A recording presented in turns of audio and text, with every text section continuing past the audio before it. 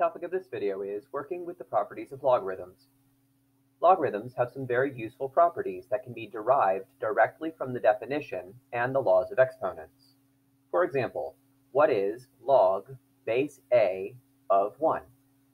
Using our knowledge that a logarithm is just a missing exponent, we can state that log base a of 1 is the exponent that goes on base a to make 1.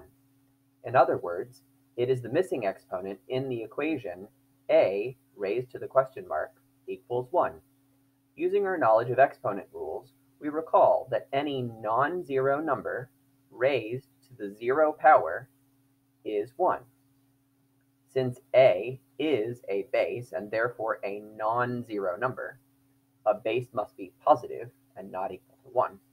The value of the question mark is 0. Therefore, the value of the missing exponent is 0. Therefore, log base a of 1 equals 0. This gives us a property of logarithms.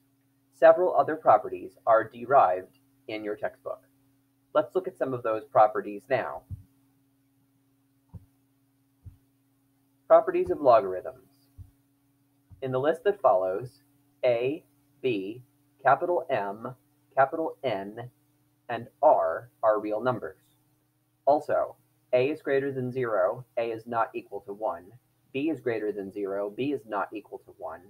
Capital M is greater than 0, and capital N is greater than 0.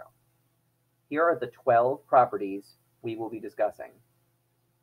Property 1 is the definition.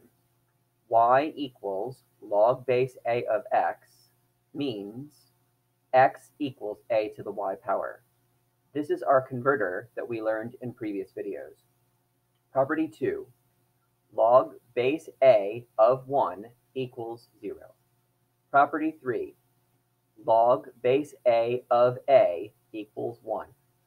Property 4, a raised to the power log base a of m equals m.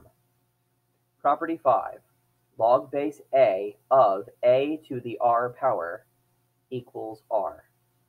Property 6, log base a of the product mn equals log base a of m plus log base a of n.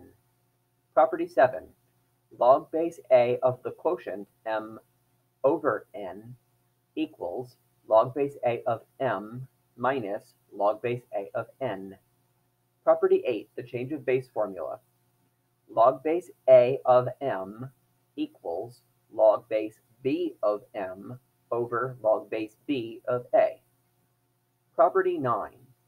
Log base a of m to the r power equals r times log base a of m. Property 10. a to the x power equals e to the power x times the natural log of a. Property 11. If m equals n, then log base a of m equals log base a of n. Property 12. If log base a of m equals log base a of n, then m equals n. You will be expected to memorize these 12 properties. However, you will find that you will use them so often that memorizing them is actually a very easy task.